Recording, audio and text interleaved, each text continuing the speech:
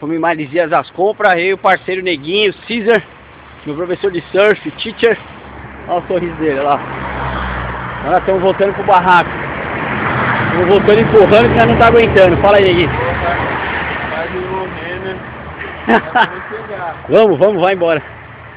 Ah, estamos chegando no barraco agora, carregadíssimo. Olha as compras. Acho que eu tô ficando velho, caralho.